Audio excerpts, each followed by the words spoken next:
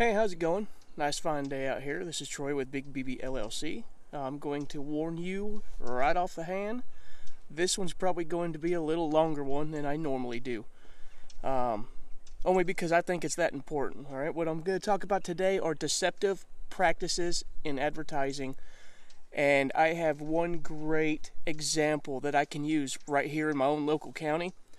Um, every single one of these come from the Square County auction who seems to specialize in deceptive advertising and practices. So that's uh, well, not really a good thing. Um, and it shouldn't surprise anybody that he does this. The guy's also running for supervisor right here in District 2 of Leake County as a Democrat. Democrat, deception, I don't know. There might be a connection between that. All right?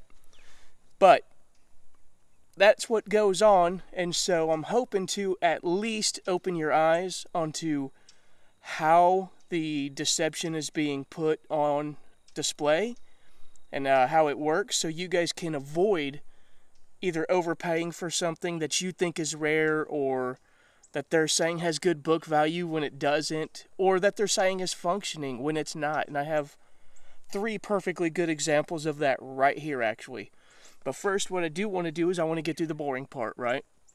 So let's get through the boring part. This is the actual Mississippi Rules of Conduct for auctioneers. Um, Rule 1.2 Advertising, Part B.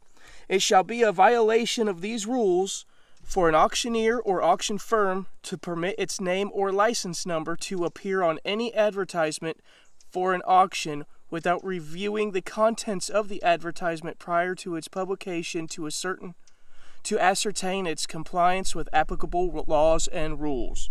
All right? So, basically, he's got to check over this stuff first before he allows his license number to be applied to it. Now, if you go to his site, he does not have his license number attached to anything he puts out on social media.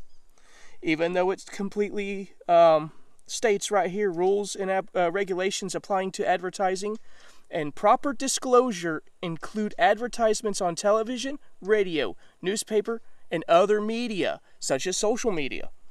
All right? So, one, the rule applies to every type of marketing and advertisement that he does. Two, he's got to actually go in there and confirm that everything is true before he puts his license number on it. Um, we already know that he doesn't put his license number on anything.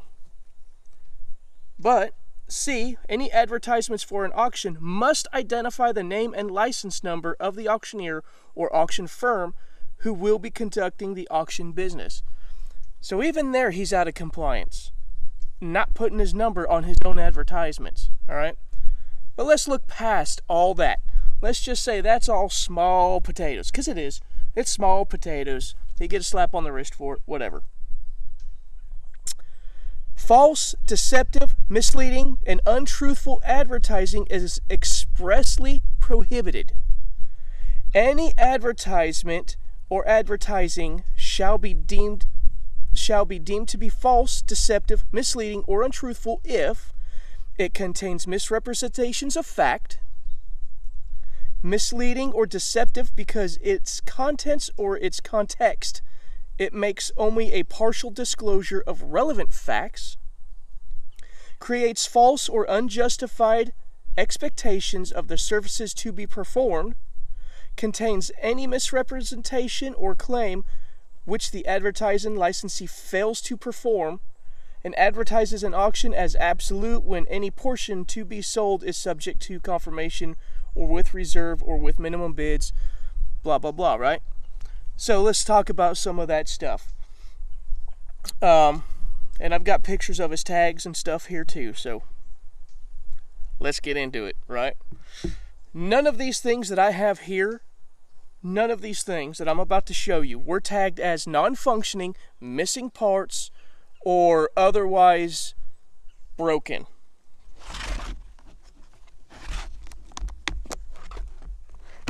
Here is an AHSS FX9, FXS9 uh, from American Tactical. They were the importer of this. They weren't the actual manufacturer. This was actually made in Turkey, which is why I have this now because You cannot find parts for this. They do not import parts.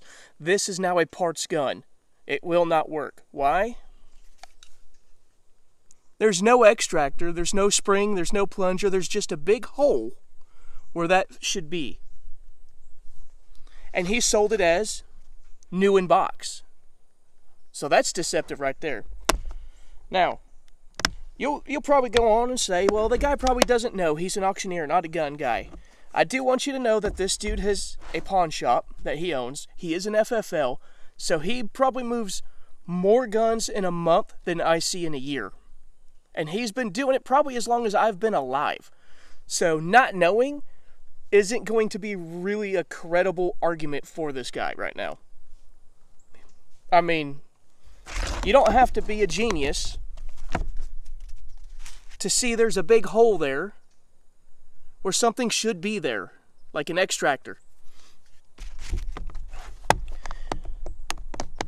You don't have to be a genius to see that there is a bulge in this barrel and is probably unsafe to shoot.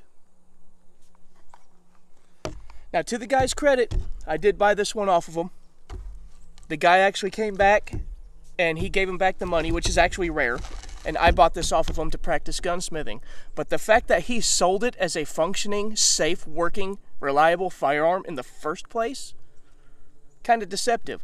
And honestly, don't think that everyone's going to get their money back because they're not. Not with this guy. All right, he tells you right at the front end of his auctions um, that uh, you know if it's not working or something's broken, don't come to me.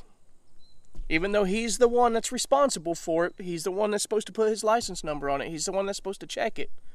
He won't accept any responsibility for it. So that one, he actually did the right thing and he gave the guy his money back. So I will give him credit for that. Right? And then we got this lovely Model 97 Winchester. You don't need to be a genius to know that ain't right. This should not do that. It should not stay there. You do not have to go out there and fire test every single gun that he's gotten in his auction. No one is expecting him to take it all the way down and make sure that every firing pin isn't broke. But at least do your function check. Oh crap, that's not supposed to do that. You know what? We can't sell this. Or if we do, we need to advertise it and sell it as a defective item, right? Even then. But there would be no money in selling this as a defective item, would there? All right. So let me see here. I got some pictures I'm going to throw up as well, and I'll probably I'll expand them out so you guys can read what the tag says. Um, but here's one right here. New in box, 9 millimeter, Hi-Point, AR style. AR style Hi-Point. This is a Hi-Point. Magazine in the in the handle here, nine millimeter Hi-Point. This is an AR. There is nothing, nothing AR style about a Hi-Point. The Hi-Point doesn't have two different receivers that you can disconnect. The Hi-Point doesn't have anything associated with an AR. There is nothing AR style about him. Oh, but he just doesn't know what he's talking about, right? You'd think after that many years of working with guns, he would know a little bit more about them, right? However, let's talk about the Where's it at? AR-15 Radical, new in box. Again, everything's new in box apparently. Good book, hard to find, 6.5 Grendel. This is one that's hanging on my wall for sale right now. Do you know what this is chambered in? 6.5 Grendel. Matter of fact, if you go to my online store, you'll probably see 11 different manufacturers right now selling a 6.5 Grendel AR style rifle. About 11 of them. They are not hard to find, right? That's a deceptive wording practice right there.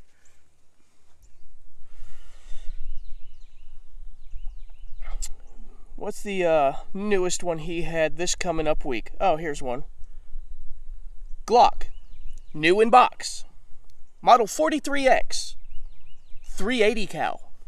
Whoa. Glock 43s, this one's my wife's, so that's why it's pink. Glock 43s do not come in 380. Matter of fact, if you look at it here on the slide, it says 9 by 19. Glock 43s are 9 mil, Glock 17s are 9 mil, Glock 19s are 9 mil. Glock 43s are not 380. If you put a 380 in there, you're probably asking for a little bit of trouble, right? And I even had someone ask me, hey, is it possible that that could have been modded? The barrel could have been replaced and modded to accept the 380. I don't know anyone that's done it, but if it was, it wouldn't be new in box either, would it? So again, deceptive practices in advertising, right?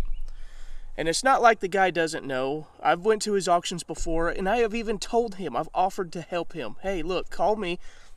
I'll look them over for you I'll help you tag these right so that way, you know, you're actually giving good information to people. Again, there's no money in telling the truth. Even though being an honest businessman is 100% free, he chooses not to do the right thing. All right? And so this is why I kind of put this together for you. I want you to be safe. I don't want you to buy stuff like this that may or may not blow up in your face. I want you to be safe and I want you to go out there and I want you to feel like you actually got a good deal when you do make a deal, right? And that's why here at Big BB LLC, we do not deal in, dis, um, in deceptive practices. If it's good, I'm going to tell you if it's good. If it's bad, I probably don't carry it if it's bad. Why would I sell stuff that I think is bad? Minus this high 9 mil, but honestly, they're their uh, their carbines are actually good to go. It's their pistols I actually have a problem with. All right, but we don't deal in deceptive practices. So I actually put it out there on my uh, on my uh, business page on Facebook, and I'm going to put it out here as well. If you go there, if you go to this auction and you buy a firearm, because I'm not discouraging anyone from doing that. That is that would be un-American of me. If you want to go there and get a firearm without having to do a background check, there you go. That's probably the most American thing I can think of is government don't need to know shit, right? Until the three-letter agency kicks your door in, but eh, you worry about that bridge when you cross it. Um, but if you go there, bring the firearm to me, and I will look it over for you, free of charge. All I ask is that you leave the tag on. If you buy a firearm and it is broken or defective in any way, bring it with the tag on it and I will fix it for the cost of parts only. I will not include labor or anything like that. All right. So that is my um, that is my way to reaching back out and say, look, I don't really need to make money on this. All I care about is that you're safe. All I care about is that gun does not blow up in your face. That's all I really care about. Money is second to me, but to some guys who uh, practice deceptive um, and false advertising, they don't care about you. All they care about is your dollar. And if you come out of there with a broken or defective firearm, I mean, you worked hard for your money. Don't give it to guys like that. All right? Anyway, I'm here for you. If you got any more questions for me, um, let me know. I will be posting more of these as I get them. Um, and I've posted one in the past on an 870 shotgun. And you know what? I'll throw the picture of what that shotgun looked like when it got to me. It's crazy how it could be that broken, and he still sell it as a perfectly functioning firearm. Anyway, stay safe, shoot straight.